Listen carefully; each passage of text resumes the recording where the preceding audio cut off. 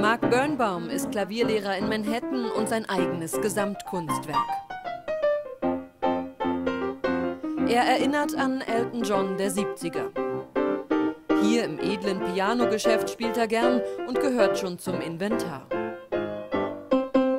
Die Plateauschuhe sind sein Markenzeichen. Er ist promovierter Komponist und liebt den Ragtime. 1890 bis 1920, das ist meine Zeit, auch wenn ich nicht danach aussehe. Ich bin ein altmodischer Ragtime-Jazz-Typ. Das ist meine Lieblingsmusik. But yeah, I'm an old world ragtime traditional jazz guy. That's my favorite kind of music. Mark flaniert über die Fifth Avenue. Die Meile wird zu seiner Bühne. Hier draußen findet er neue Inspirationen. Die Leute sind meistens nett zu mir und ich auch zu ihnen. Ich muss herumlaufen. Die Stadt gibt mir Energie. Es ist genauso wichtig wie Essen und Trinken. In seinem Apartment in Midtown. Mark gibt gerade Unterricht.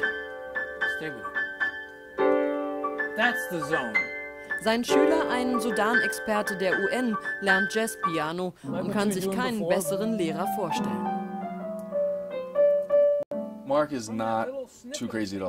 Für mich ist Mark überhaupt nicht zu verrückt. Ich mag gerade seine Art zu unterrichten. Er ist völlig unorthodox. Aber seine Methoden bringen mich weiter und machen absolut Sinn.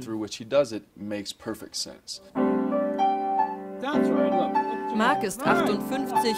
Früher trat er an New Yorker Theatern auf mit einem eigenen Ragtime-Programm. Den Gershwin auf Drogen nannte ihn einmal ein begeisterter Kritiker. Yeah.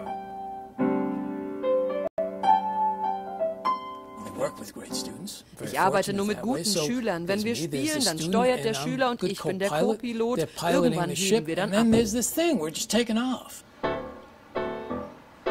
40 Häuserblöcke am Tag, dann fliegen die Finger nur so über die Tasten. Das hat Marks großes Vorbild Wladimir Horowitz einmal gesagt. Auf dessen Spuren wandelt Mark durch Manhattan, 20 Zentimeter über dem Boden und immer auf der Suche nach Inspiration.